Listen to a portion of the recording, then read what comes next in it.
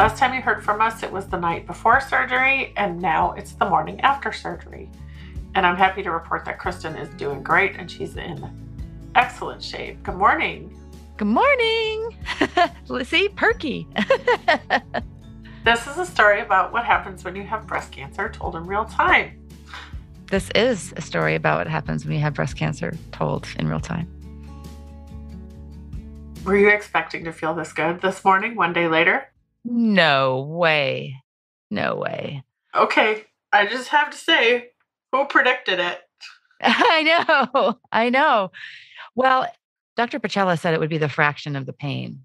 And what's interesting though is that the left one, the one that didn't have cancer, that had the smaller expander, that one hurts more because he had to do more work with the skin and the lift of it. And so I think the skin is still it's still sensitive where the expander was, but with that expander being out, it's a whole different thing because I mean, you can tell it's not this big boulder pushing it. It feels like boobs. Did he give you a summary of what all he did? No, he will either do that Thursday or what they usually do is they put it in the portal. I didn't see him after the surgery. I was in recovery and I think he was probably already busy. And I asked the the nurse there, I'm like, what size are they? And he said 700 cc's. And of course, I'm looking that up, right? And someone, of course, online was asking, well, if I'm like five foot two, 120, is 700 cc's a lot for an augmentation? Yes. And those are stripper boobs. Sorry. Right. And that's what no, and that's what they and that's what they basically they said, I'm not trying to be rude, but those are porn star boobs. And they said the, the 700 cc's are usually best for women who are undergoing reconstruction because they've taken all the tissue and someone with a larger stature. And mm-hmm. so clearly I'm 5'8, not 110. And so even when I'm not going to say if anymore, but when I lose all this chemo weight and the puffiness goes down and stuff, they're going to be proportional for my body because, you know, I was a CC plus before. And so this doesn't feel much different than that from what I, I haven't seen the whole thing either. We talked about that he's not finished. Like up here, it's a little bit flatter. And I know these are going to settle and stuff, but he's going to do some of the fat transfer. But really, I mean, they look even. There's a little bit of cleavage. I could live with this. Sure. Yeah. Do you have a sense for whether they'll drop, you know, like traditional breast implants that have nothing to do with reconstruction? They settle and come down after a while? I think we're at the point right now where we could consider this a typical breast augmentation in the sense that what you're going to see for them to settle yeah. a little bit, because that's what I understand. It will be interesting to see because of the skin that's been radiated and how taut that skin is, if they'll stay even. The work he did, I'm sure, was to make them stay even. I mean, he's very good at forethought on it and he's done it so many times. I'm sure that he's taken that into account. How long were the expanders in? 33 weeks. 33 weeks. Not that I counted. it was from June 22nd until yesterday, the 7th of March. Would you say that today you're in less pain than that? No. Or just different pain? Different pain different pain. Like what I'm noticing is that some of the nerve endings are probably reconnecting. So I'm getting some like, I call them lightning strikes just here and there. And now, I, I mean, I told you like at the beginning, warning, Kristen just took a um, muscle relaxer and a couple hours before that was some pain meds, some oxycodone. So if I sound a little drunk, is it going to be nappy time soon? It's going to be nappy time soon. yes, it's going to be nappy time. But staying ahead of the pain, like I did before, has been key. And Lainey's been really good about that. She's like setting alarms for me, which is great. And we're alternating it. We're alternating the oxycodone and the Robaxin. Now, what would you say makes a surgery buddy, like a recovery buddy, a good recovery buddy? And feel free to get Lainey to answer that if you want to. Okay. I know, right? She's outside on the phone. Somebody who is she asked the right questions the night before.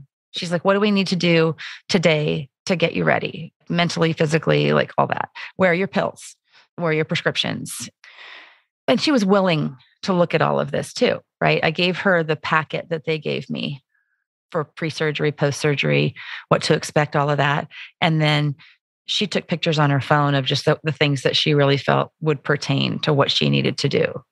So, to answer your question on that, it she's really easy to be around and she's asking the right questions and she also understands that it was really important for people to know what was going on. And she as soon as she heard from Pacella, then the recovery nurse called her and she pulled the car around. She was right there, you know, ready. And I think she had probably already texted everybody by that time saying she's out of surgery and she's doing well.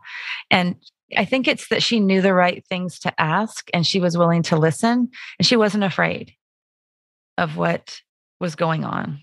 It's funny because she's not a blood and guts person. So, like when I had her feel my expander the other night, she's like, oh, oh, oh, oh, oh, oh. So, she's not that person who wants to empty the drains or anything, which shouldn't have to. I can do that because it's kind of gross. I mean, it's you're not getting anything on anything, but it's bodily fluid that's coming out into these JP drains that you have to open up and drain. And, you know, mm-hmm. it's bodily fluid, right? And right now it's red. And so she was just up front. She was squeamish about that, but, you know, she's just super easy to be around. And it's somebody that I don't have to explain anything to her. It's like you and I being around each other. So I just want to recap because I heard a couple different things. Okay. One is be fully present. Don't expect to go somewhere for a while. Obviously, you she probably could if she needed to, and you'd be oh, fine oh, yeah. for a while. But not everybody's going to recover like that. So if you're the surgery buddy, you need to make sure that for the time frame you've agreed upon ahead of time, I think you're 100% there with no expectation of I'm going to go to Legoland and I'll be right back. Exactly. Yeah, exactly. So number 1 was just be present. Be present. Number 2, ask a lot of questions of you. Well, and be sure that you know what's going to be happening the next day, what to expect. And I would say to her, last time I forgot my nausea patch and they had to get me another one. And so I'm like, I'm putting this here. Please help me remember it. Oh, I like that. Write down all the things that went wrong last time so you can be in front of them. Right. And just her being open to looking at the literature.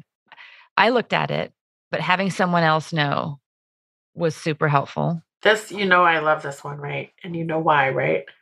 What?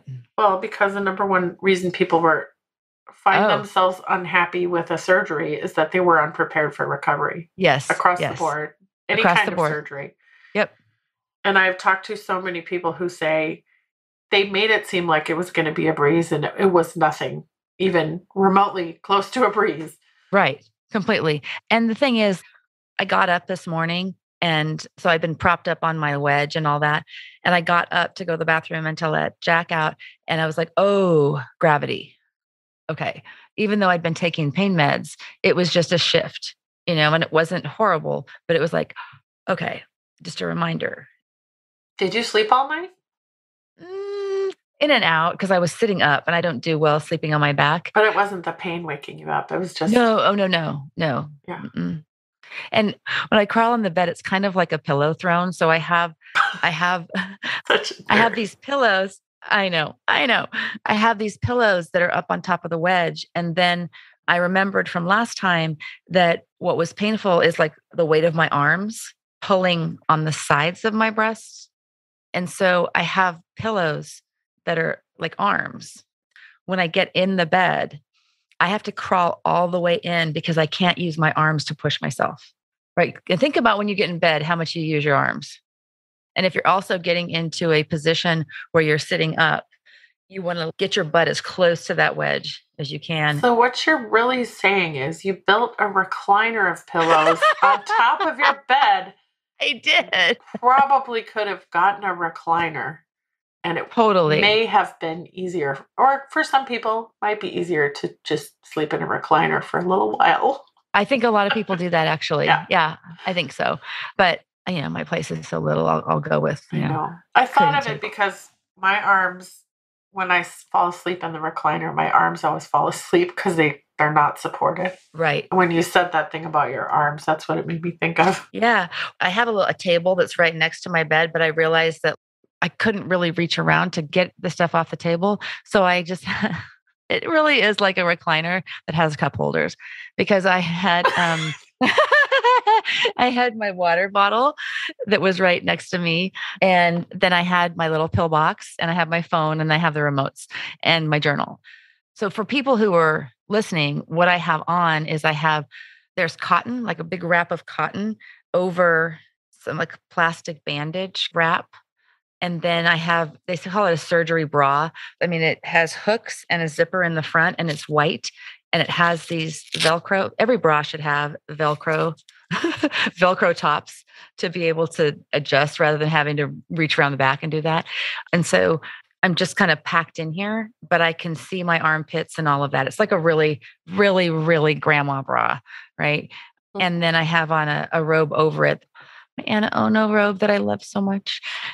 So the last thing I'll just call out about your surgery buddy is that person oh, yeah. is in front of the medication schedule and food and probably yes any other water yeah water yeah. and really i'm probably just hypersensitive about it because i felt so badly about people not getting called and notified that i mean you know i don't know how how quick it was that she notified you but people got what they needed and my phone wasn't blown up it was 2:20 p.m. here so it was 12:20 yeah, perfect. So I hadn't even gotten in the car yet.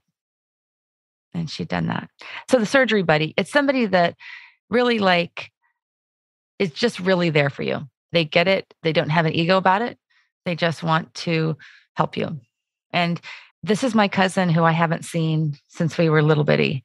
And we're very similar in that we can just say what we need to say and we don't have to tiptoe around things. And she's been through a little bit of this with some friends. She didn't have reconstruction, but she's been through breast cancer. This woman had had it three times. And so she knew what was important. So you recommend calling long lost cousins to come help? Find a Facebook cousin who seems like she's like you and has the same sense of humor and then schmooze her to come down and sit at the beach and and and watch your boobs become blue, you know? so, what did it feel like riding in the car on the way home? So, I have my mastectomy pillow that it goes in between the the seatbelt and my body. And so I put that, I made sure that was in place. I felt unsteady because I'd had plenty of pain medication. The first thing she said is, I'm going to avoid the bumps, I promise. so that's another thing you need to really have in like a recovery buddy. Good driver. Okay, got it. Good driver. Good driver. Yeah. So it felt good coming home. I didn't get in bed right away because I wasn't sure if I got in my bed, my reclining bed, whether I was going to be able to get up or not. And then did you take a nap or did you just hang out or what did you do? We just kind of hung out. I kind of dozed in and out also. And Cleo, who works for the family that I live with here that own the house, she's a chef and she came up with muffins and dinner. And so it was very low key, very chill. Even though I was in pain, everybody here was completely surprised. Like Cleo came in and she goes, I thought you were having your boobs done today. Yeah, I did. And I said, I did. She goes, you're sitting up. And I'm like, yeah. I'm like, you want to see? And she's like, oh, you're that girl. You're going to be showing everybody your boobs now. I'm like, I waited long and hard for these things. I can tell that you're slowing down a little now. Just my voice from when we started. Yeah. Oh. Yeah. You might be getting a little bit tired. Loopy. Yeah, maybe. Probably. Maybe. So I won't keep you too long. So let's wrap it up just by covering what you're going to do this afternoon. Okay. And then we'll be really, really excited to hear about how you're doing like in 10 days or two weeks. Oh it's going to be like, I know. Put those things away. Seriously. So part of what was made this successful also is that I I put the clothes that could open in the front in within arm's reach and put dishes and things I needed to get to, not above my shoulder. And having been through it before, I want to share something with you. I talked to the anesthesiologist when he came in. He said, How was it last time? And I said, I was in a lot of pain, a lot of pain. And he said, Well, I'm going to give you as much as I can. I'm going to do my part of it. And then you just need to be really honest in the recovery room with how you're feeling. Was it the same anesthesiologist or a different no, person? different. It was done before an ambulatory surgery center that, that was strictly outpatient. The guy next to me is having a colonoscopy, right? What was he talking about? I don't know. He was, I think he wanted to be awake for it. He had this British accent, and I think he wanted to be like, understand what was happening and like just be in twilight. And I'm like, oh man, I don't know what's going on there. But it was too much information, too much. And it was funny because Dr. Pacella came in to draw. And so he's sitting there marking what he needs to mark. And I'm like, what's with the guy with the colonoscopy? He goes, I know, I was listening to that. Who wants to be awake for that? Because I guess he was around the corner at like the counter doing some paperwork. I didn't see him and I didn't realize he'd heard him, but I was like, what's with that? And so so it was a completely different situation where, you know, the, where the doctors weren't the same. There was actually a resident that was in there with them. And I think his name was Dr. Cooper. I don't remember. Maybe. I don't know. a little too much Big Bang Theory. and so what was interesting is when I went in, I walked in again too. Oh, yeah. And I had a recline I had a recliner there and the anesthesiologist was like, Can you taste the saline? I'm like, Yeah. And then he says, Does it feel cold? I'm like, Yep. And then that's the last thing I remember.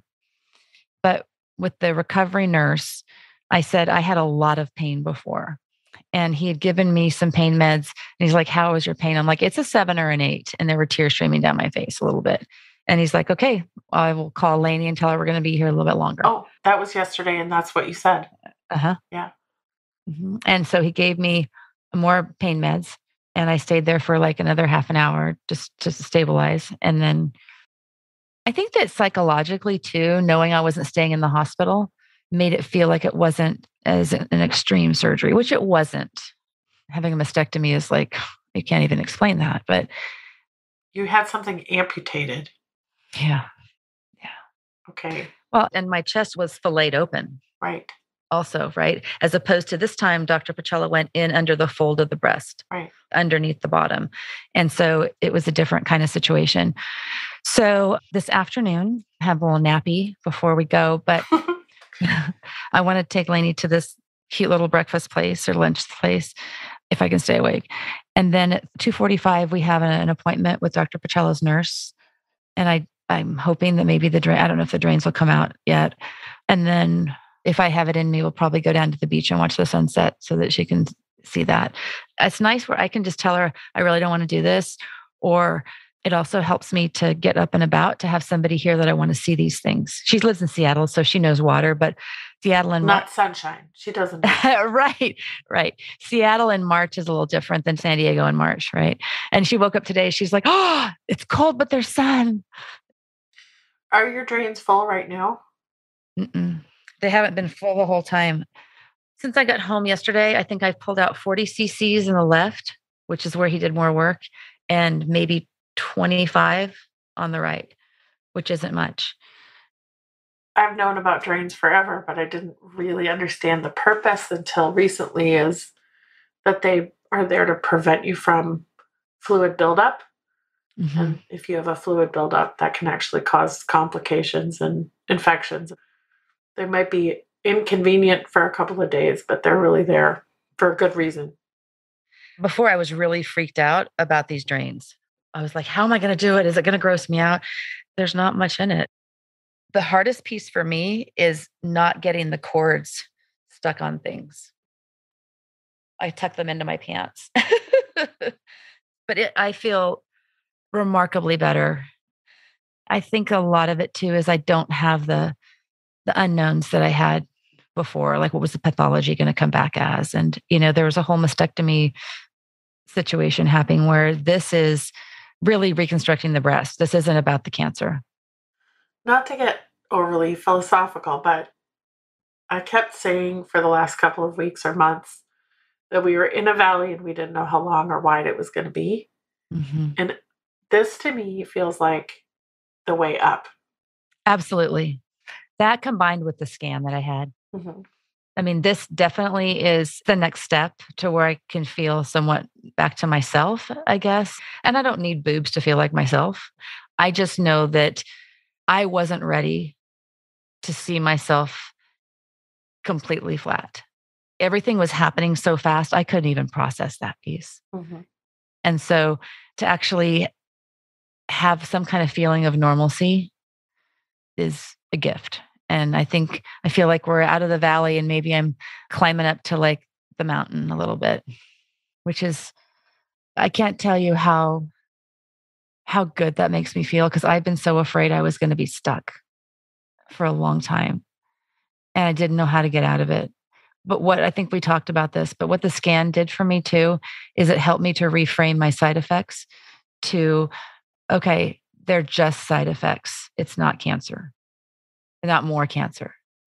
Right. And so that really did help to take, I literally had weight taken off of my chest, but that was like weight taken off my, my soul. Short title? Weight off my chest. the weight is off my chest. Yep. I love it.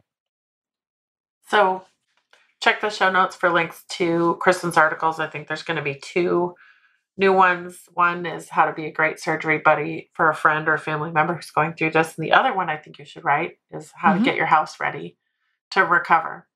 Seriously. Yeah. So we'll do that. Um, you can find those both in the show notes and sign up to get email updates from us. Thanks for listening to Breast Cancer Stories. If you're facing a breast cancer diagnosis and you want to tell your story on the podcast, send an email to us at hello at theaxis.io.